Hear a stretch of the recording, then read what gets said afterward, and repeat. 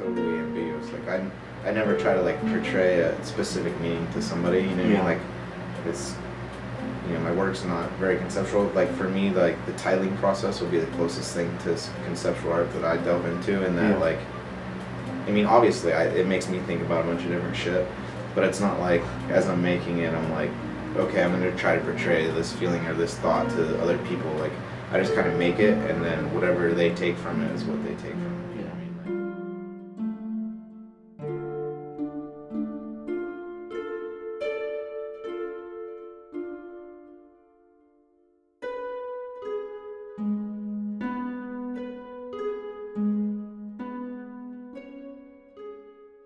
It's a self-searching tool for me basically. It's like how i've come to define myself. You know what i mean? Like i feel like i i learn shit from it constantly you know? It's uh for me it's uh an, it's an approach to self-awareness you know? So like that's so i guess yeah i have to switch the the visual part and say that meaning probably means more to me. But uh as far as the practical application of making the work and my concern towards a viewer would definitely be more the visual tip. Like I'm not trying to dictate anybody's interpretation. So, yeah, towards the viewer, visual more important to me, meaning more.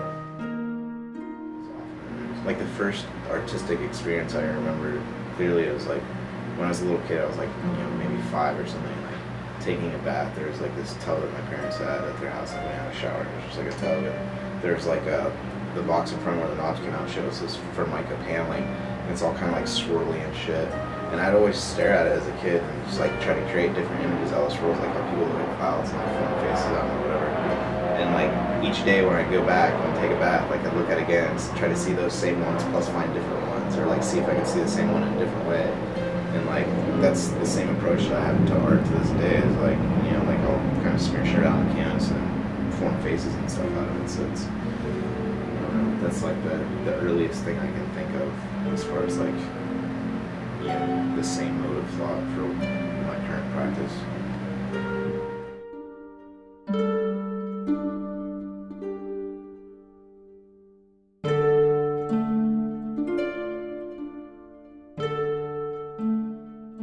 Usually it seems like about like maybe halfway through this process of very kind of haphazardly like splashing shit, marking shit, building it, and it's marking another place out. It'll get to where it's like I kind of know what it's gonna look like when it's done, and then it's just a lot of just doing all the little shit to get it to that point.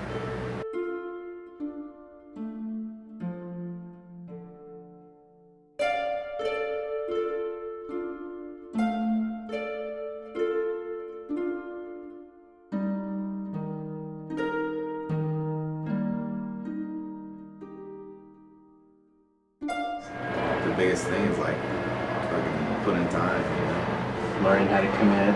Yeah. Yeah, like that's definitely a big part of it, like committing. Like I can think of numerous times where like I didn't want to like work on shit, but I did, you know. And I think, uh, I mean, in general, I like I enjoy it and I want to work on stuff. But I think that was a good part for me of like booking a bunch of shows because it would kind of like force you to be like, yeah, it's like, oh shit, I have like this show, fucking, it's a week away, and like, I only have one new piece so far, and like all my other shit's already hanging out somewhere else. Like, gotta get on it, you know. Or you like a lot of time too, like if you're actually doing a show, you'll kind of have like an overall idea, and then you kind of like you get excited about that idea and you want to manifest it. You know?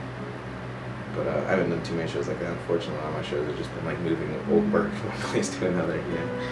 But um, yeah, I do like you know a few shows a year where it's like kind of like you know a bigger deal for me, and it's like about making one complete thought kind of come together. And uh, it's always exciting to have something like that.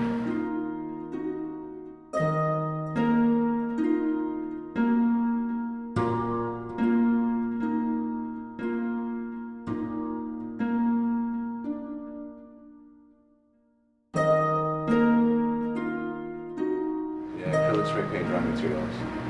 Mix those three, and then I usually do on canvas. Um, yeah, I do other stuff, but that's that's kind of like my standard.